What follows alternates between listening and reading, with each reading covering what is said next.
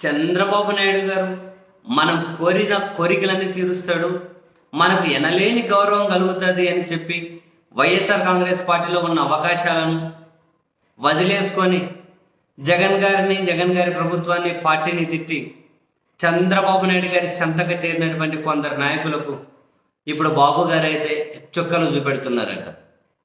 చాలా కన్వీనియంట్గా మీరు అడిగింది చేస్తాంలే అని చెప్పి వాళ్ళని ట్రాప్లో బయటకు లాగేసి జగన్ గారి మీద ఆ పార్టీ మీద ప్రభుత్వం మీద పరిధి దాటి విమర్శలు చేయించి ఇప్పుడు టికెట్ ఇవ్వాల్సిన పరిస్థితి వచ్చేసరికి చంద్రబాబు గారు చాలా తెలివిగా తాను ఏదైతే అనుకున్నారో తన మనసులో ఏదైతే రన్ అవుతుందో దాన్ని ఎగ్జిక్యూట్ చేసుకుంటూ వెళ్తూ ఉన్నారట. మొదట వైసీపీ అభ్యర్థి కాకుండా టీడీపీ అభ్యర్థికి ఓటేసి ఎమ్మెల్సీ ఎన్నికల్లో నలుగురు ఎమ్మెల్యేలు వైసీపీ నుంచి బహిష్కరణకు గురైన వాళ్ళలో ఒక కోటంరెడ్డి శ్రీధర్ రెడ్డికి మాత్రమే టికెట్ కన్ఫర్మ్ చేశారు. ఇప్పటికి ఆనం రామనారాయణ రెడ్డికి. అప్పుడేమో మీకు అడిగిన చోట ఇస్తామన్నారు.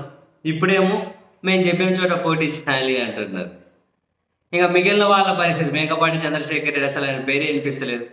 వండవల్లి శ్రీదేవి ఏదో మేడం టీడీపీ సభలు జరిగితే వెళ్ళి హాజరై ఒకసారి చేయి ఇట్లా ఊపడం తప్ప చేయగలుగుతున్నది కూడా ఏమీ లేదు.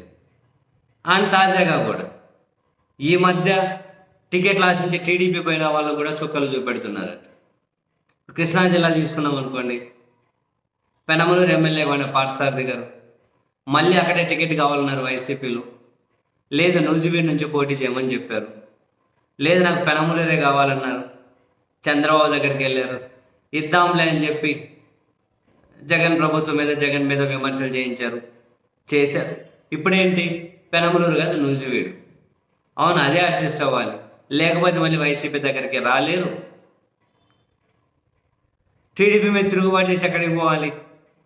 అరే నీ బాసులు ఇలా ట్రాఫిక్ సిరికి చేశారేంది మళ్ళీ నూజివీడు నుంచి ఎట్లా పోటీ చేయాలి? పోటీ చేయక ఆప్షన్ లేదు. సో ఇంకా అలానే కష్టమైన నష్టమైన ఛాలెంజ్ చెప్పి నిర్ణయం చేసుకొని ఇంకా నూజిబీడ్ నుంచే కొనసాగుతున్నారు. గురజాల టికెట్ ఆశించినటువంటి జంగా కృష్ణమూర్తి. ఆయన గురించి వైసీపీ జగన్ మంచిగానే అవకాశాలు ఇచ్చారు. ఎమ్మెల్సీ చేశారు. వైసీపీ బీసీ విభాగానికి అధ్యక్షుని చేశారు. చీఫ్ విప్ చేసి క్యాబినెట్ ర్యాంక్ ఇచ్చారు. అయినా కూడా గురజాల టికెట్ ఆశించి ఆయన టీడీపీ చంద్రబాబు వైపు వెళ్ళాలని చెప్పి నిర్ణయించుకున్నారు. జగన్ మీద వైసీపీ మీద ఫుల్ పెద్ద స్థాయిలో ఓ ఏమో భారీ స్థాయిలో విమర్శలు చేశారు.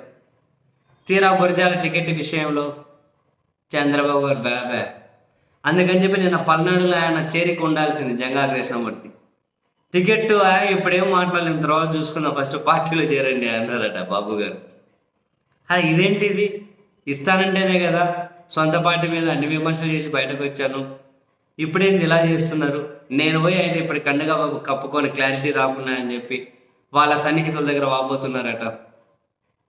అటు ఇటు కాకుండా మనం పోతామేంట్రా బాబు మన పరిస్థితి అని చెప్పి. ఆయన మదన పడిపోతున్నారట.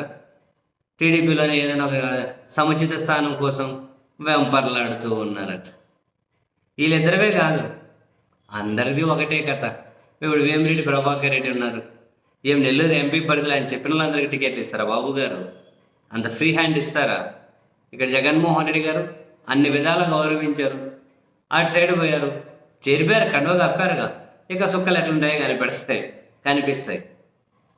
దాదాపు వైసీపీ నుంచి పోయిన వాళ్ళ పరిస్థితి అంతా కనుక అలాగే అరే అన్నీ ఇస్తామని చెప్పి జగన్ను వైసీపీని ప్రభుత్వం తిట్టించి చంద్రబాబు ఇలా చేసేసాడు అని చెప్పి వాళ్ళ సన్నిహితుల దగ్గర నెత్తి నోరు కొట్టుకుంటున్నారట.